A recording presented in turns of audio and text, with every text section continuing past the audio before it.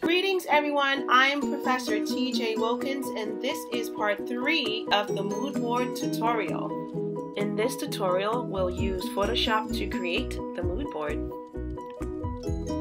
Photoshop features used are Free Transform, the Layers panel, Zoom tool, Quick Selection tool, Layer Mask, Brush tool, Move tool, Blending modes, Hue and Saturation, horizontal type tool, and save. Make sure auto select is still checked. Select the sixth image in the layers panel and turn on the layers visibility. Hold down the Alt key or Option key and click on the visibility icon. This will turn off the visibility in the other layers. Press Command or Control T and increase the size of the image. Drag at the corners to increase the size. Double click on the image when you're done.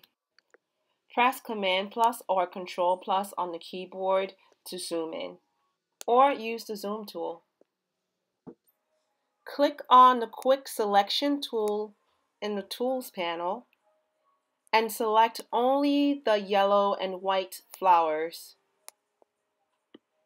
I only want the flowers in this selection, so I'm holding down the Option key on a Mac, Alt key for a PC, to deselect the leaves, branches, and other areas that are not needed.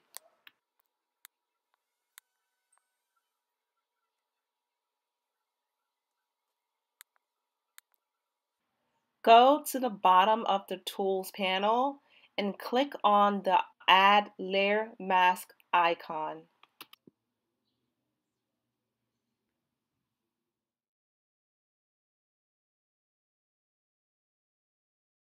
The layer mask allows parts of the layer to be hidden or revealed without damaging the image. It's a great way to remove backgrounds or parts of an image that is not needed.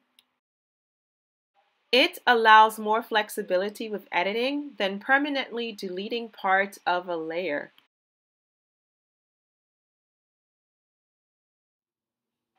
There are still dark areas around the flowers that I do not need. To get rid of those areas, go to the Tools panel, select black in the foreground color, then select the Brush tool. Use the bracket keys on the keyboard to increase or decrease the size of the brush.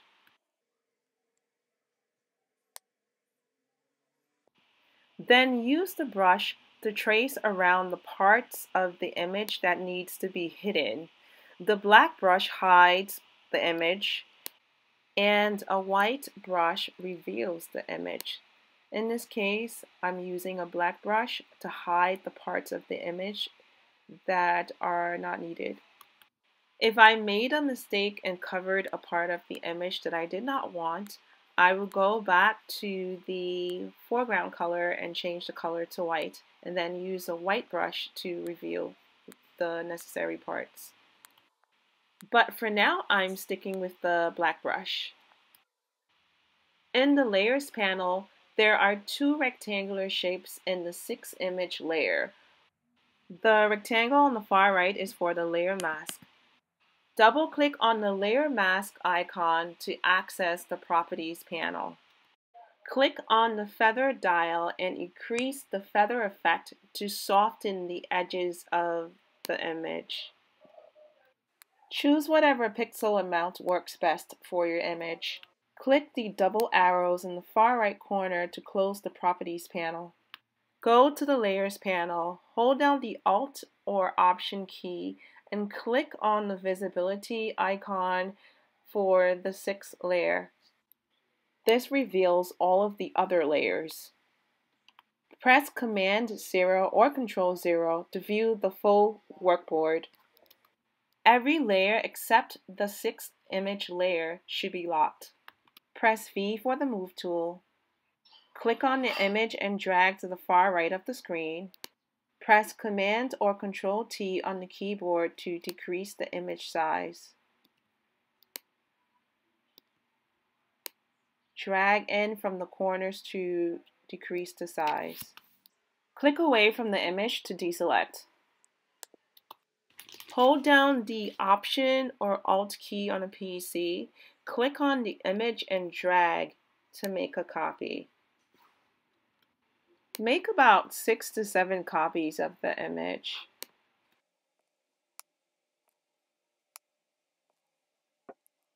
Arrange the flowers so that they're in the upper right corner of the mood board. Have some of the flowers branch out to about the middle of the mood board. If you are confused as to what layer each flower is in the layers panel, just turn off each of the layers visibility and then you get to match each uh, flower to its layer. You can rename the layers accordingly if you like. Click on one of the flowers in the top right corner, hold down the shift key, and click on another flower to select. Go to the Layers panel, click on the blending mode options above the Layers panel. Scroll down and select Overlay. Double-click away from the image to deselect.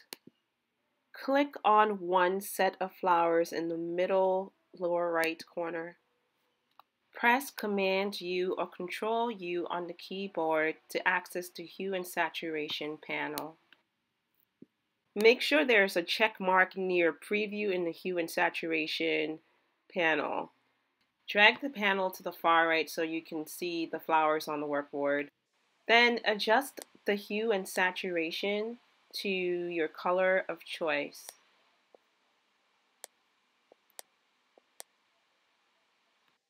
Hmm, I'm picking green. Click OK when you're done.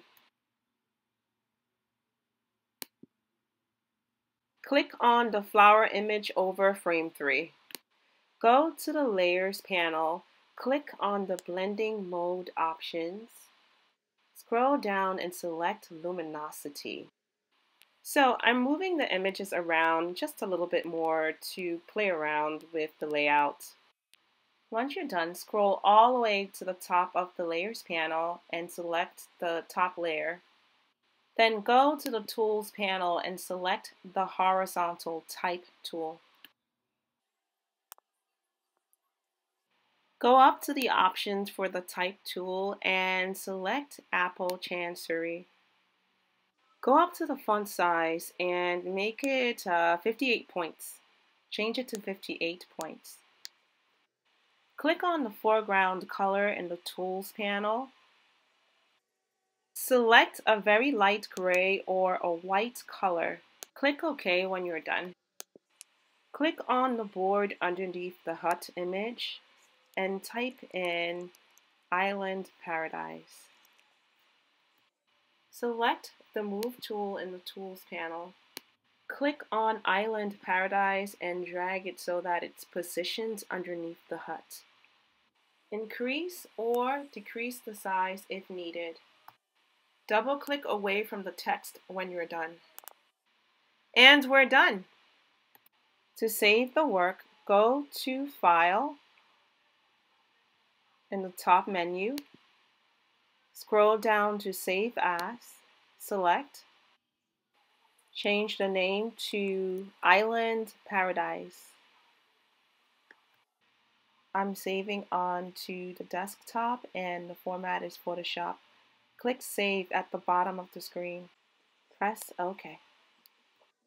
To save it as a JPEG, select File in the top menu, go down to Save As. In the format, select JPEG. Press Save. I'm gonna keep the quality at maximum and press OK. And that concludes part three of the mood board series.